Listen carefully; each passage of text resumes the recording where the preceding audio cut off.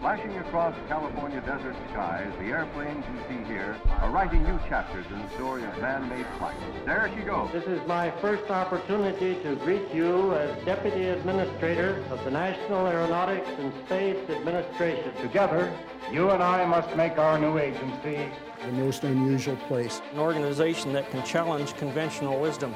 We can engineer anything we can write the requirements for. We're going to make your idea work. This particular idea is quite disruptive.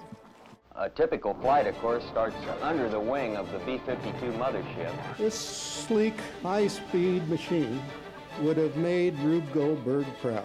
The manner in which we fly re-entry from space on the space shuttle was pioneered on the X-15.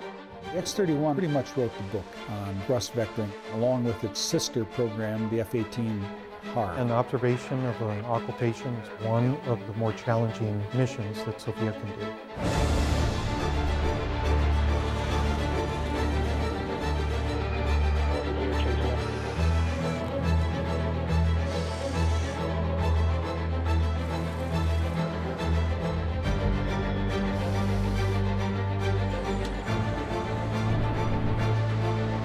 Right now, we are looking at the dawn of new era of aviation.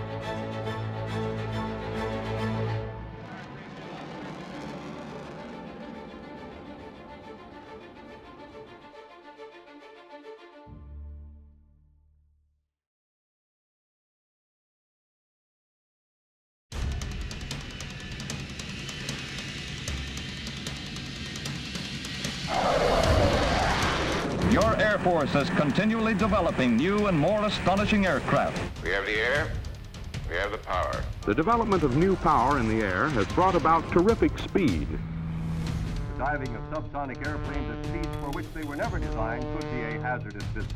Knowledgeable men were seriously wondering whether man could ever fly faster than the speed of sound. It remains for the high-speed flight program to attack these problems with scientific facilities of a new kind. Rifle and artillery shells had been traveling supersonically for many years. The XS-1 was indeed shaped like a 50 caliber bullet. Through the sound barrier, the first time ever in level flight. Blazing through sound barriers and now heat barriers, the Bell X-2 reaches the unheard of speed of 1,900 miles per hour. The D-558 was the first American aircraft to use swept-back wings and stall fences. The primary mission of the X-3 was thin wing research. The X-4 was its lack of a horizontal tail. The X-5 could sweep its wings in flight. Pilots achieved a 7-to-1 record over the MiG. The United States Air Force played a vital role in holding the line against communist aggression. Step by step, these different aircraft helped nibble away at the unknown until the frontiers of manned flight had been advanced from speeds of 500 miles an hour to Mach 3. It was long before Sputnik that we decided to build the X-15. This was a logical step in the research aircraft program, the first hypersonic aircraft. What is to be man's role in space travel? Can he pilot an aircraft out of the Earth's atmosphere, fly it in space, then re-enter the atmosphere and bring it back to a safe landing on Earth. Designed to investigate the problems of manned flight in a near space environment. There were many unknowns to be discovered, many problems to be overcome. Hypersonic flow of air would heat the leading edges of the plane to 1300 degrees Fahrenheit. How could the pilot control the aircraft in air so thin that normal aerodynamic control would be impossible? No engine like this had ever existed before. The 50,000 pounds of thrust in its single chamber had to be controllable at the pilot's discretion.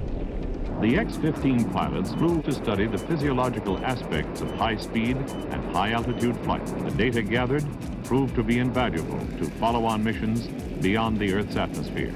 They have dramatized the potential of piloted high-performance aircraft in a space environment at a time when much of the world's gaze was turned toward orbital flight. The aeroplane has become an important means of commercial transportation and a decisive weapon of war. Air transportation helps our economy. The United States is only about five hours wide. Research programs investigate flight at ever greater speeds as time and distance shrink. A supersonic transport must be durable, and it cannot itself cost too much. The controversial XB-70 gathers invaluable data on stability and control characteristics. We were flying two YF-12s with a whole lot of supersonic, high-temperature types of research, and the F-111 TACT airplane, which contributed greatly to the knowledge of the transonic regime. A cross-country flight that would take you minutes instead of hours. The X-43 is a revolutionary new kind of airplane. What we want to do with this is prove that hypersonic flight with an air-breathing engine is possible. Through Mach 3.